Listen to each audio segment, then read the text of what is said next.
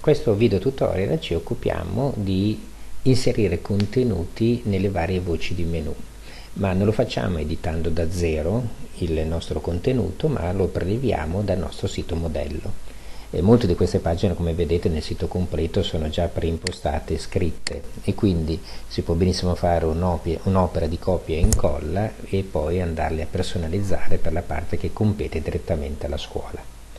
Andiamo sul nostro modello, e andiamo sul nostro sito in via di costruzione. Prendiamo qualche esempio qua e là.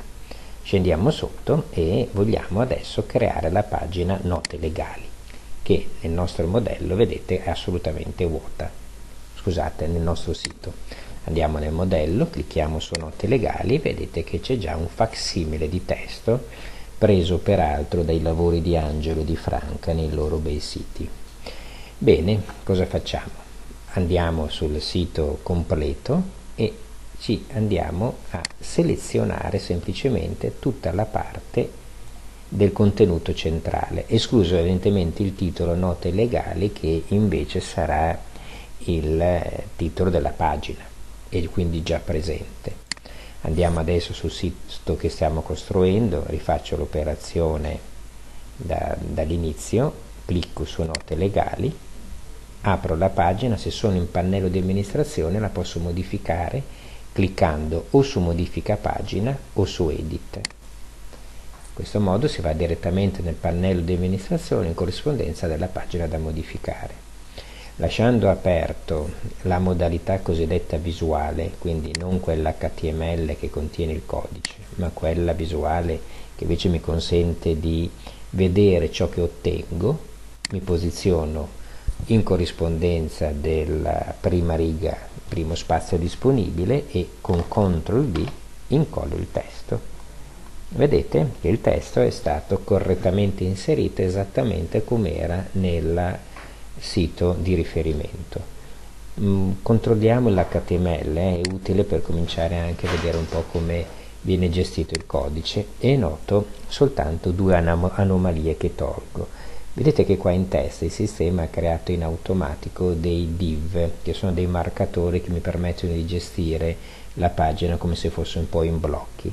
Li tolgo, tolgo quelli di apertura che sono all'inizio, vedete, sto cancellando, ecco, tenete conto che se poi li lascio non succede proprio nulla, ma è una sorta di elemento inutile. Il, WordPress li ha messi, ma li avrà anche da qualche parte chiusi un po' come una parentesi aperta e chiusa. Dove li trovo? Li trovo qua alla fine, vedete, no? lo stesso marcatore div quando è chiuso presenta una barra, come a dire chiudi il marcatore. Togliamo questo e togliamo quello. Il resto, vedete, è tutto perfetto. Ecco, questo è un po' il codice, guardiamolo un attimo. Ci sono alcuni elementi, ci sono i paragrafi. I paragrafi sono un po' come le le diciamo, frasi dotate di senso compiuto e non hanno una marcatura specifica, sono in pratica gli elementi di testo standard. E poi sopra vedete che c'è invece un copyright download che è marcato all'interno di questi marcatori H3 aperto, H3 chiuso. Cosa sono H3?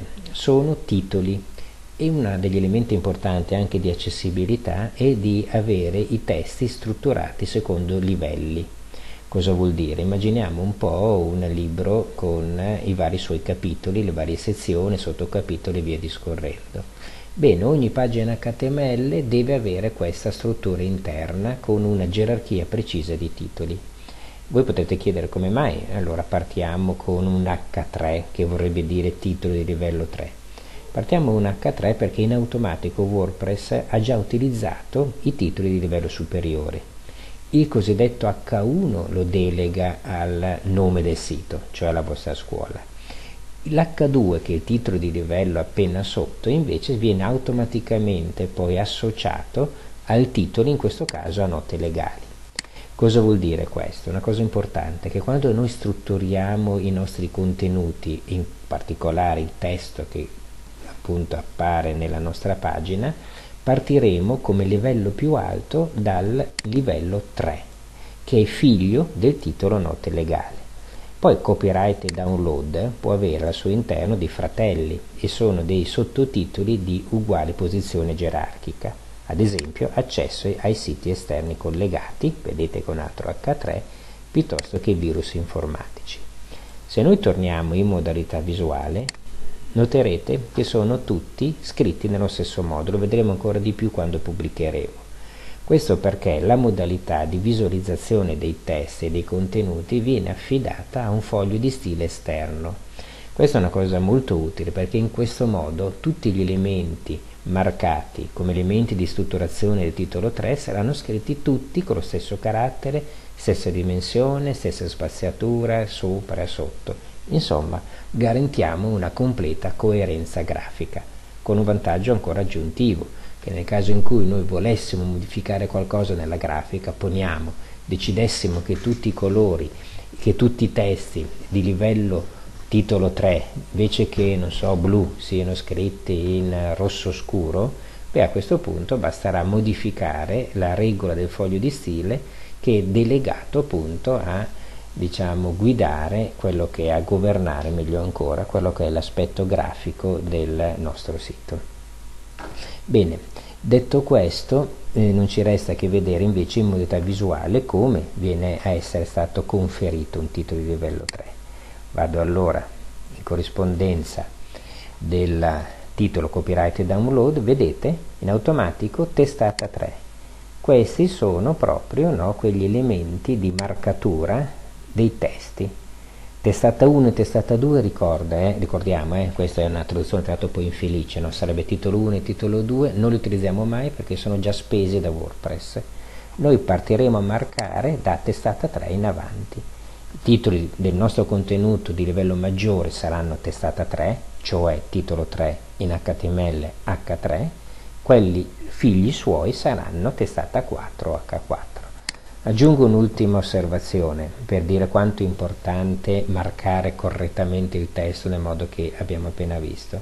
Questo è il modo che i nostri cittadini non vedenti utilizzano per facilmente andarsi ad orientare all'interno di una pagina web. Loro utilizzano delle particolari sintesi vocali che restituiscono il contenuto in parlato. Bene, con la loro tastiera hanno un tasto apposito che consente loro di navigare per titoli. Quindi capite che di fronte anche a una pagina lunga, le persone non vedenti hanno appunto la possibilità di giostrare all'interno della pagina con un semplice movimento di dita sulla tastiera. In questo modo a loro viene restituita la nostra facoltà di scansionare una pagina con lo sguardo. In questo caso lo sguardo è rappresentato dallo scorrimento testuale da un titolo di livello superiore a un titolo a livello inferiore. Trovato il titolo che interessa, cioè la notizia interna su cui soffermare, noi vedenti daremmo lo sguardo, loro direbbero l'attenzione, ecco che si genera in automatico una sorta di link che consente loro di accedere solo a quel contenuto specifico e quindi guardate è proprio una delle cose più importanti a livello di accessibilità, a volte dimenticata, a volte ignorata, a volte guardata magari con scarsa attenzione. Invece è forse uno degli elementi di accessibilità più preziosi, sempre riferito al versante non vedente ovviamente. Adesso clicchiamo su aggiorna e andiamo a vedere la nostra pagina, eh? con visualizza pagina noi andiamo a vedere proprio ecco, la nostra bella pagina messa. Naturalmente ci sono ancora dei punti qua, dei puntini che voi dovrete riempire no? col nome del vostro istituto, leggetelo con attenzione, ma questa è già una pagina bella e pronta. Come abbiamo riempito la pagina note legale, voi potete riempire tutte le pagine che sono già state inserite nel nostro sito modello. Non tutte tranne quelle evidentemente che contengono gli articoli dei mesi precedenti o di circolare le news perché queste non sono pagine ma sono meglio ancora pagine che al loro interno hanno il filtro degli articoli, contenuto che dobbiamo ancora prendere in esame. Però tutte le altre, glossario, accessibilità, dove siamo contatti e da la scuola in giù possono essere realizzati col metodo che vi ho appena mostrato. Vediamone ancora uno prima di concludere, un pochettino più spinoso degli altri, che è la pagina glossario. Se io clicco su glossario vedete che tra l'altro ho qua una sorta di navigazione interna, eh? queste sono proprio quelle eh, parole calde che fungono da segnalibri interni eh, che possiamo gestire proprio grazie all'installazione del plugin TinyMC Advanced perché è una pagina un po' particolare rispetto a note legali? Torniamo su note legali. Vedete adesso al di là della lunghezza che però è una cosa accessoria la pagina bella pulita non c'è in alto è quella specie di pezzettino azzurro. Ecco quando c'è questo azzurro in realtà è stato messo un div aggiuntivo cioè un box aggiuntivo o meglio una classe al paragrafo che fa in modo che quel contenuto abbia un particolare sfondo e allora vediamo il metodo 2 per fare un copia e incolla che si presta utile a quel 5% di pagine un pochettino più complesse. In maniera molto empirica potremmo dire se il risultato non vi soddisfa col metodo copia e incolla tradizionale, proviamo a vedere questo secondo.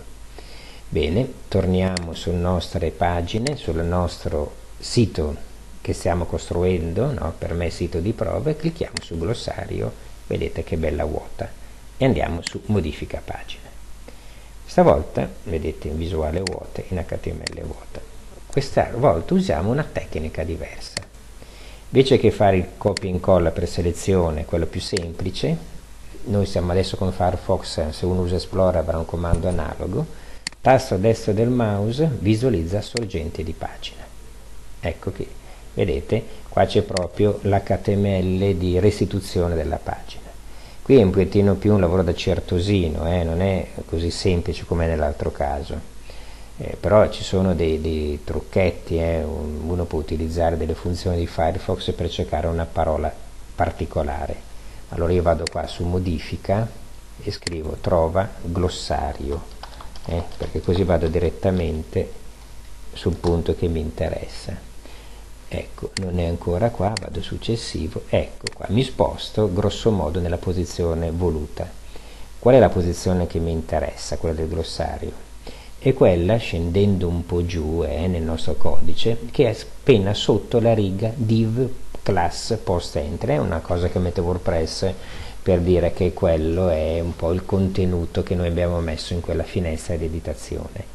E seleziono eh, anche se non conosco ancora bene il codice però so da dove parto, dalla riga successiva, quel div class post entry e vado giù giù fino, vediamo adesso come, eh, questa è una pagina molto lunga per cui se riusciamo a fare questo ormai riusciamo quasi a fare tutto perché le altre pagine sono tutte più corte, quindi qua scendiamo e scrolliamo parecchio con il nostro scrolling verticale, ci fermiamo fino a appena dopo la parte verde, eh, che parte verde, lo dico nel caso ci fossero delle persone non vedenti no, che seguono questo tutorial e quelle che inizia con RDF, RDF, XLMNS, cose di questo tipo e ci fermiamo alla riga appena sopra la chiusura di un div che è il div che usa WordPress per inserire il contenuto ma che non, non interessa cioè in pratica sulla parte che abbiamo visto poi nella pagina precedente che era ritorno all'indice alfabetico. Quindi copiamo l'HTML, tasto destro copia, torniamo adesso nella nostra pagina, nella nostra pagina di modifica del glossario del nostro sito, non vado in visuale, ma incollo direttamente all'HTML.